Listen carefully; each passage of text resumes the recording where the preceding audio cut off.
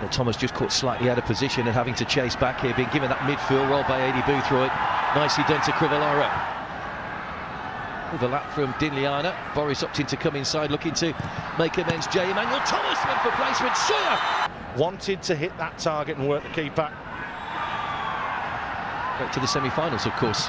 Jay Emmanuel-Thomas pushed away. Nobody following in. Boris just finds Jet.